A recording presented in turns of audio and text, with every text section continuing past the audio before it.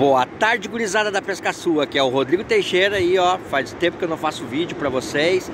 Uh, tô fazendo esse shorts aqui, mas vai ser mais longo que shorts. Vai acabar sendo um vídeo normalzinho aí no canal, tá?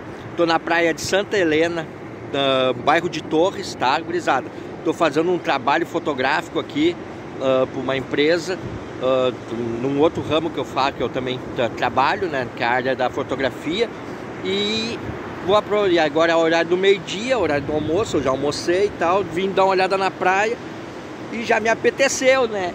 Aí o que, que eu vou fazer? Quando eu terminar meu trabalho hoje, no final da tarde, eu estiver indo embora, eu vou dar uma passada aqui, eu trouxe minha tarrafa no carro e vou tentar dar uma tarrafiada aqui nessas águas aqui da praia de Torres.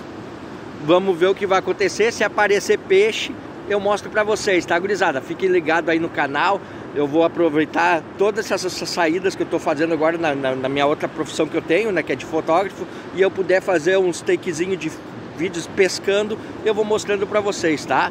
Grande abraço, fiquem com Deus aí, curtam o canal, compartilhem com os amigos os vídeos, e é isso aí, gurizada. Falou!